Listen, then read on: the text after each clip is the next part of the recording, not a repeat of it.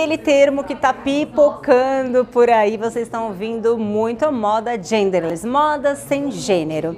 E aí, gente, nós trouxemos a marca Chique Jolie que super apostou nessa tendência e criou alguns looks assim. Aqui a gente tem uma camisa que dá tanto para um quanto para outro, numa estampa que né, não compromete nenhum tipo de identidade, super versátil agora para o verão, nesses tons mais claros. E aí a gente montou aqui uma proposta de look trabalho e uma proposta look fim de semana. E o legal é que essa calça no linho, ela também tem na, no feminino, olhem só, tamanhos menores. E também tem... Ah, essa é outra, né? Essa, essa é, é igual outra... que eu estou usando. Ah, tá. Essa aqui que é igual a sua, certo? Isso. Aí arrasou. Tamanho menor. Olhem que linda no tamanho menor. E eu também super poderia usar e a gente sairia de gêmeos.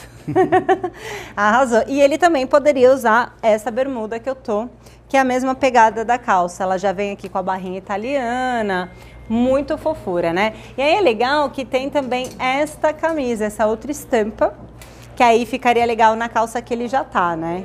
Muito maravilhosa também essa estampa. E aí, gente, nós temos as polinhos. As polinhas aqui também tanto faz. E aí tem várias cores, né? Tem o blazer também que tanto faz. Eu também adoro jogar o blazer por cima da camisa. Quer ver? Já vamos montar um estilinho aqui. Olha só que legal. Só para dar um close, né? Adoro. E aí tanto o Evandro poderia estar usando como eu também. E aí, vocês gostaram? só a gente de gêmeas, porque também é uma marca que trabalha praticamente all sizes, né? O tamanho até o 44. Exato.